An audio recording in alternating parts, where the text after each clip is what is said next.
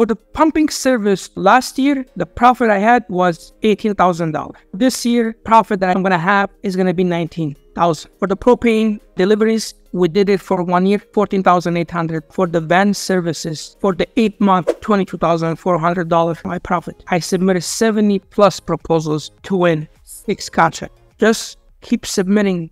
Don't give up. I've Vic with us today. He's a special guest. Not only has he recently won contract, but he's going to share some of his mistakes, lessons learned. So you are all in for a treat. Welcome to the channel, Vic.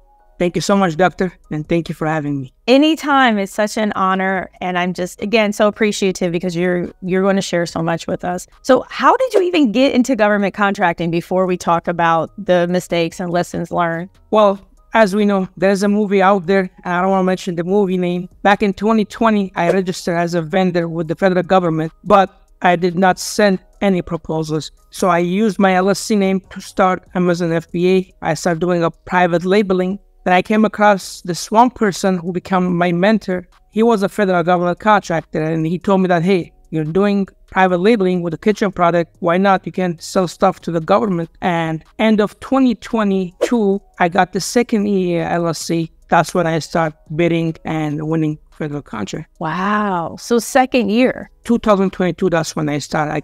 I, 2022 was my first year sending proposals. Wow, that's amazing. That's amazing because you didn't give up and that's fast. And so, what was your first win? My first one was with the CBP, Custom Border Protections. They added 10 vans to transfer inmate. And it was six month contract and it was in San Diego. How wow. 10 vans to transport inmates. How was that? Like what was that contract like? And and would you do it again? Definitely, I will do it again. But the thing is, I started submitting a lot of proposals and I forgot when they told me that this is a one letter. So I have to go back to check the emails for which solicitation was the award because I submitted 70 plus proposals to win six contracts. Yes. And this one was my first contract providing 10 vans for the uh, custom border protections officers transfer inmate. It was six month contract, seven days a week. I found a subcontractor. We're partnered up together and we did the job. Wow, that's that's terrific. And I love that you submitted 70, 70 bids you submitted, and then you said you won six or seven. Six, I don't want to count this year, but in total with the last year it was five contracts. But out of those contracts, I have two contracts where I actually they contacted me to provide the service. Yes. So they contacted me to provide the service. I thought it was a scam and I told them to send me an email to verify it. And it was a legit email and it was for the National Forest. Oh, and what did you provide for them? So for National Forest, I provided, uh, that was a mistake again with the National Forest. I will talk about it to provide septic pumping services. And we finished that contract December this year, last year, December. And February this year, they contacted me back. They asked me to send them a price for another septic pumping service, and I won a contract again with them for the same service for the same location. Wow. Okay, so let's just let's just jump into everything because I love this. That you learned about it. It may not have immediately started bidding, but then you start beginning, you bid, you're bidding on 70, you have these wins, which is still a good win rate. I, in my opinion, anything, eh, listen, one is better than zero. That's how, that's my philosophy. And it's, you know, it's about profit, it's about experience. So I love this. Then you're bidding, you did the smartest thing ever. When somebody said, Hey, we want to do work with you, you're like, Okay, email, which is great because sometimes it does happen. The government might call you. So that's great that you did that. Then they wanted you again because you did such a great job. Mm-hmm. It was not active solicitation. So right. Out there. Right. Like a, which makes it better because it could have been a simplified acquisition. It could have been sole source. Like however they decided to award it to you, they knew you were the answer. That's true. And now I have another 20 pumps with them for another six months for the second.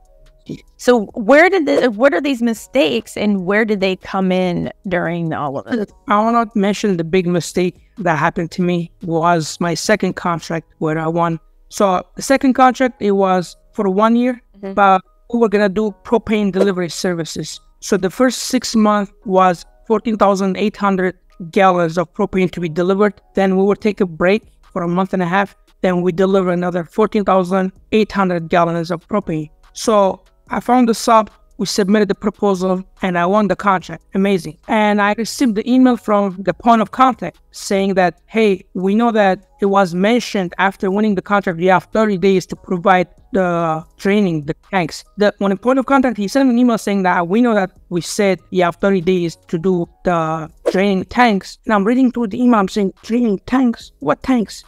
And I called the point of contact. I was like, I received your email about the training tanks. And the contracting officer was like, yes, I know we mentioned you have 30 days, but we needed ASAP. Send someone to drain those tanks. And I was like, okay, I will definitely send someone. So I went back to the solicitation, going through the files, and it was mentioned you have eight big tanks that after winning the contract, you have 30 days to drain those tanks and then they're gonna storage those tanks. And I was like, oh, I did not mention this to the sub. So I called the sub. I was like, I have an issue. Okay. I received the email. It was my fault that there is eight tanks to be drained. And the sub was like, draining for what? If we're gonna provide the eh, 14,800 gallons, why are they gonna drain it? I was like, well, they need to drain those tanks. They are big for storage. And he's like, okay, give me 30 minutes. I'll call you back because this is different price. We did not add this price with the delivering or 14,800. So he came up, he called me back. He's like, okay, I'm not gonna charge you for the draining. I'm just gonna charge you $500. We're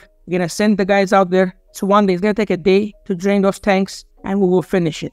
And I called uh, the point of contact. I was like, when do you want us to come to do the draining? He's like, whenever you want, the sooner the better. So a day or two, we sent the guys, they went up there and they drained those tanks. That was one of the biggest mistake where I felt too comfortable I thought I know everything. I don't want to go through all those files reading it. I thought I'm going to just read a couple of places where I need to read, which is the scope of work, the instruction to offer. I'm good to go but it's mistake. If you have the files, make sure you read the solicitation, reread the solicitation. If you have someone that you trust, let them read it just in case if you miss something. That was it's a big mistake. Wow. I you know, it was a big mistake, but also you have the the grace of God there because they said it was only five hundred dollars. It wasn't like five thousand fifty, five hundred. No, and I paid out of pocket. I paid the five hundred out of pocket. It was not and the subcontracting agreement that I have with them. So that this was a different price, and I have to pay out of pocket. Oh, well, that's tremendous. I mean, and you still went with it. You didn't say, "Oh, I'm now going to exit government contracting."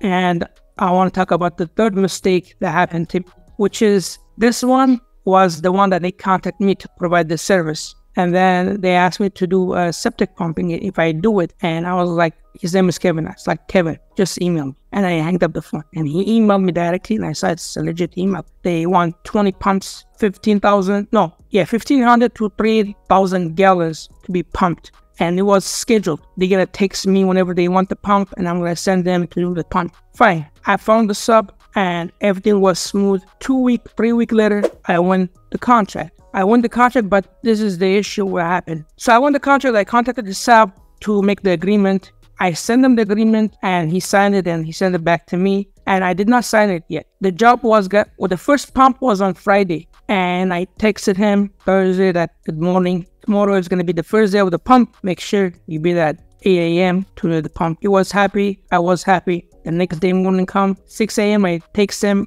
hey, good morning. In two hours, you're gonna do the first pump to make sure that he knows that he's gonna do the first pump. He was happy. Eight, 8 o'clock comes, I didn't call him. 9, 10, 11, I'm still waiting for his phone call to see how was the first pump, and he's not calling. So I called him, calling him, calling him, calling him. He's not picking up. I'm texting him. He's not answering my text messages, and I have no other choice to call the CEO. I called the CEO. I can tell by her voice she was already pissed, and she's like, "Where are you at?" And I was like, oh, my bad. I lost the connection with my employee. I can't track the track because the pump is in the mountain. It, you really can lose the truck because it's a mountain. You don't have a Wi-Fi, the cell phone. And she was like, no, your guy is not here. I'm still waiting. We do need the pump. And I was like, I apologize. Give me a couple of hours. I'm going to send the second truck to do the pump. So I hanged up the phone. I went back on my list to see what sub I contacted. So I contacted the second one, and the second sub was like, "We cannot do it today. We can do it tomorrow. We don't have a time for right now." And I was like, "No, please. This is an emergency. We do need the pump right now. Can you do it?" And he was like, okay, I will do it, but for this pump, I'm not gonna do it in the 30. You're gonna pay me right away. I was like, not a problem. If you can do the pump right now, I would direct deposit you, Zelle you the money, whatever you want, just do the pump. So he went up there and he did the pump four or five hours later, the first sub, he contacted me like, hey, I was lost. Let me go up there and do the pump. I was like, no, you don't need it. So this, this mistake that I learned that Google review. And this person, he had a bad reviews, bad reviews. The complaining, he doesn't pick up the phone. He doesn't answer the text messages. He does the job. He leave it empty and he leaves. He doesn't come back one week, two week. So always pay attention to the Google reviews because it's gonna help. Uh, it doesn't even if it's cheap. Sometimes cheap you think is good, but it's not good. Cheap is not good. And Google reviews they don't like. And it happened to me. Well, he did not pick up my phone calls. He did not answer my text messages for an hours. Wow. And the the brilliant part is you went back to the list. Yes. You were able to negotiate. They said we're not doing that 30. You're like, I'll pay you. Doesn't matter however you want it. Zelle, Cash App, like I got you. I love that. And I love the lesson. There's so many lessons here. I love the Google reviews because people don't really talk about it. It's how do you find a sub? Facebook Marketplace, go on Google, go on Angie's List, go on LinkedIn. You know, we there's a lot of this talk about where to find, but then we rarely talk about, well, get references or look at their reviews because we're so in the moment to get a figure that we're not even thinking about, well, how many stars do they have? And then the reviews are right about that company. You know, like they were totally right. Whenever in the reviews it says that he does the job, he leave it halfway and he doesn't come back. It takes weeks to come back. He doesn't answer the phone. He doesn't answer. It happened to me two hours before doing the pump. He was not answering the phone. He was not texting back for five hours, four hours. Then the second sub, he did an amazing job. We finished the contract December December 31st was the last day with him, and February this year they sent me the paper, uh, the 1449 to redo the pricing, and which I did and I won the second 20 pounds for another six months. And I contacted same but we did not do any agreement because the trust that I have with each other, that's, I don't need to do an agreement. I trust him, he trusts me, and that's how I'm doing it right now. And then you got the additional contract. So in total, with the work that you've won so far, which is in a short amount of time, which which I love. Mm-hmm. Yeah. About how much how much money? So I have to write it down because I don't remember. Is that, is that okay? Yeah, and Okay, like, so- hey, I'm a sticky person, so I, I, you, you got my. So for the for the propane deliveries, we did it for one year, fourteen thousand eight hundred. The first six months, then we took a break, a month and a half. Then we did another fourteen thousand eight hundred. So for that, the sub was charging me a dollar fifty for uh, each gallon, and I just put fifty cent on top of it. I don't know why it's too low, but I put fifty cent on top of it. I'm not doing this mistake no more. I'm doubling my price, but for this one, I put a 50 cent and I'm like, if I win, if I win, let's see. And I won the contract. So 50 cent, $7,400 for uh, the 14,800. So times two, which is 14,800 for the propane. And for the pumping service, the first year, which is, was the last year, the sub was charging me 550. But the first sub, the one that we had bad relationship, was charging me 450 for each pump. But when I submitted my proposal, I put 1,450 because I spoke with my mentor and he was like, if it's not published, then just double your price and send it. That's what I did. So he was charging me 450. I charged the government 1,450. If I win, if I win, and I won the contract, then the second sub, he charged me 550. So for last year, the profit I had was $18,000 for the pumps, for 20 pumps. This year, they sent me the 1449 form at a $50 on my price. So instead of charging 1450 I'm doing 1500 for the each pump. And I asked the sub like, hey, you feel comfortable doing the same price? He did not change his price. He kept the price the same, which is 550 Now for this year, the pumping profit that I ha- I'm gonna have is gonna be 19,000. I love this. And I commend you. And that was such great advice you received because anytime an agency comes direct to us, you have way more leeway with the pricing in comparison to when it's on sam.gov, it's on Unison, or even if it's on a contract vehicle. So that was brilliant that you increased the price. Plus, sometimes when we see such a low price, it's like, what are we really getting? You know, so you by having that type of a price, it's very fair. It's fair and reasonable. So that's awesome. Perfect. And uh, I forgot to mention, I had uh, for the van services that we provided uh, for the CBP officers. So the sub was charging me 60 bucks and for each van times that 10 and i was charging the government $10 extra. I was charging 70 bucks for each van and my total for the van was for the eight month $22400 uh, my profit. That is amazing. So what kind of work are you bidding on right now? Kind of work Vic? to be honest everything but my main focus is i love to do energy which is uh, propane and that's what i love. Gas propane diesel. It's hard it's not easy. I bid another contract. This one was an international one.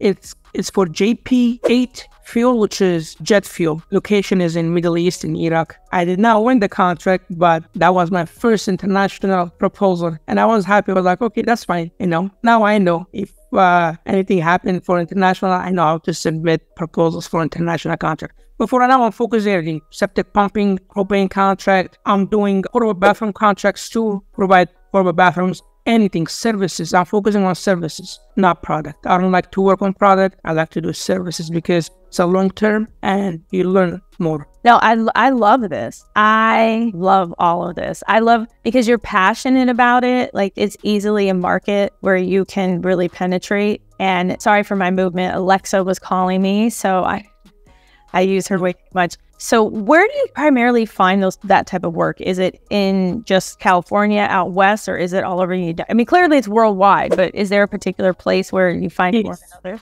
I love California. I'm from LA and I do focus on California. My mainly is focusing on California contract. I don't know why they say, well, don't focus on your backyard. I love it. I just love it because I want to know, okay, I can drive a couple of hours to see the job. I feel happy. That's what happened with the septic pumping. I drove up there to just check it. I know I'm not doing the job, but I just want to check on the guys to see how is the septic pumping services going. And uh, the propane, again, it's in California, San Diego, but unfortunately, I could drive this three, four hours far from me. Yeah, but it's great though, because they must really appreciate the fact that you're there, like you're in state. And now I have a lot of good reputation and relationship with the government and with the subs, of course. I'm never late, always on time especially with the pay. They say you have to wait 30 days to pay the sub. That's my agreement with the sub. But I usually do it before the 30 to make them happy. I love that. I love that. And what other kind of lessons can you share with us that you've experienced winning the contracts, engaging with contracting officers, engaging with subs, invoicing, all of that? What are what are kind of the top three where you're like, everyone, you need to be aware of these lessons? Just be honest with the COs the point of contact. Some people they're scared to talk to them. Oh, I'm not scared. I always pick up the phone. If I have an issue, I always pick up the phone. I call them, hey, and I don't lie. This is this is what happened. My employee got stuck. I'm not gonna be able to do it right now. Give me a couple of hours. I will send the second sub, or I will send the second truck. I don't usually mention the sub, but the second lesson I learned: don't act that you know everything. That the way I did for the propane contract, I thought I don't have to go because some. Okay, so some solicitation, there is one PDF file. Some solicitation, there is 20 PDF files. And for the propane one was a lot of files. And I was not gonna go through all of them. I picked and choose which one I'm gonna go through. And that's what I did, which is wrong. Always go from take the file. Sometimes it's 10 pages, sometimes it's 90 pages, it doesn't matter. Go through it, read those files, reread it, especially scope of work, whatever is mentioned out there, the limitation on subcontracting, you gotta pay attention on that. Don't act that you know everything read, reread your solicitation. And if you have someone that you trust, let them read it for you so you on the right page, you don't make the mistake. I got lucky that he charged me $500 to do the training tanks. If he mentioned a thousand for each tank, that was eight thousand dollar, eight tanks. I was gonna lose the contract because it was my fault. And yeah, read, reread the trust, your reputation. Don't lie, be honest, and always let them know that what's going on because some people, like I said, some people are scared. Uh, in the beginning, I was scared from the CEOs. I always emailed them. I didn't want to talk to them. Then I, I then I start calling them. Now it's normal. I see a solicitation. I don't understand. I'm gonna pick up the phone. I don't care. Ten times, twenty times. I'm gonna call the CEO. As I love that. I love that the the transition and because at the end of the day, CEOs, all of these people are just human beings. Yeah, yes, that's true You know, they're just human beings, and especially contracting officers, they're there to make these acquisitions on behalf of their clients, and their clients are the different agencies and departments and divisions and all of those things. So I love that you do that. What would you recommend to somebody who's like how you were? You heard about it, maybe they got a cage code, maybe they haven't done anything yet they're like, wow, I didn't even know this energy kind of area was of uh, an option. What advice do you have to that person that's kind of like the newcomer, the start, the person just starting out? Well, how can you best help them? Just don't give up and don't lose hope because in this environment, in this business, it's all about submitting. I submitted 70, I lost the count. I'm being honest, I lost the count how many proposals I've submitted. I'm just submitting and going to the next, going to the next, going to the next. I was back in the days, I was printing each solicitation, and I end up with a bucket like this. I'm like, no, no, no, no. I'm not gonna print no more. I'm not gonna print no more. So I start submitting and saving it to my drive, Google Drive. Just keep submitting. You're not gonna win the first one, of course. You think you're gonna submit the first one, you're gonna sit and wait. That's not gonna happen because some solicitations you submit and it takes two to three months to win the contract. It takes a time to get awarded. Some solicitation is submit the next day you win. Some no. Some it takes time until you win, until you start doing the job. Just keep submitting and don't lose hope and don't give up. It's very simple. Giving up is simple, but keep submitting, keep submitting, keep pushing. Just keep doing the same thing. It's all over again. It's the same thing. Keep doing it. I love that. I love that advice because it's so true. And if anyone wants to reach out to you, Vic, is the Facebook group the best place? Where can somebody reach out to you? I have my mainly my Facebook is like a little bit private for okay. but uh, I have my Instagram is open or my TikTok is open. Okay. So am you said TikTok and Instagram, which is TikTok and Instagram same username as King. Mm-hmm. King Vigo. It's K I N G V I G O is the same username. Yes, because you're. Oh, I, I recognize your. I mean, we've talked on Facebook, we've talked on TikTok. I'm just so proud of you because it beyond shows what's possible. But I love everything about what you're doing. I love the management. I love the client relations. I love how you're handling accounts receivable, payable. I love everything, and I'm just so excited and proud of you. But we definitely have to do another video because in a couple of years, this is this is going to be multi-million. Appreciate you, appreciate you, Doctor Anna. You are my motivation too. I watched all your YouTube videos, and especially now you're doing lives on TikTok. I love it. I love it. Thank you. Yeah, I'm gonna keep. It's, it's gonna be even more. You're, y'all are gonna be like, wow, does she does she sleep? Is she is there a clone of Kizzy? But no, I appreciate you because you take action. Like you take action and you're helping the client. I mean, I can I could when you were telling the story, I could just picture like the guy driving is all lost and his tank is way over here and and like they just need it done and and it's like who wants to drive up there and and it's just like you did it and you gave them peace of mind you gave them a solution. It's like that's beautiful. And especially with lulu he he taught me a lot of stuff too. So i want to give a shout out to lulu and yeah Curb, really he helped me a lot too. Oh good. I want to tell him. Yeah. And for any of you who are watching like what? Lulu is an he's an active duty military member and contracting officer who's deployed. And out of the kindness of his heart, he provides free advice and answers questions to, not only through my lives on TikTok, but on his page. He has a YouTube page. His name, his name is first name is Jonathan. So it's really cool that he does that. And he doesn't represent, of course, the government as he's providing the advice. I'm so glad and I'm grateful for that. This is exciting. I love, I love it when you and Lulu do a live meeting on TikTok, I just put my headphones on and just listen. That's what I do. Oh, great, great. I love it because he he provides so much good information. Like, and it's not just the best part is it's not just information. You're like, okay, but we're all learning. Like, there's things he sure sharing where I'm like, oh, that's when that happens. And because where else do you get that? You know, there aren't, to my knowledge, I know there's other contracting officers on social. They'll pop up every now and again in my Facebook group or somewhere, but I don't know anybody else like a Lulu, that's his handle on TikTok, that is constantly giving. No, true. I have a couple of contracting officers too. They're not that active, uh, but yeah, they're not that active. That's true. They're not that active. So, well, I again thank you so much for being here, for being interviewed, for sharing your successes, the different things you've overcome, all the tips. And I want people to know just please contact him. Also, check out my book, winnerswaybook.com. winnerswaybook.com and join the Facebook group and just don't give up. That's the end of the day. Just don't give up on yourself. Don't give up. Keep submitting. One proposal is not going to help you. 70 plus, 70 plus proposals. Probably more than 70 right now, but don't give up. Keep submitting. Read your solicitation. Read the solicitation, and you're going to win. You definitely will. You will. You're going to win, and then you're going to win over and over again. So it's amazing. So, again, thank you so much. And don't forget, everybody, like, subscribe, hit the notification button, and everything is possible. Take care. Thank you so much, Doctor. No, thank you.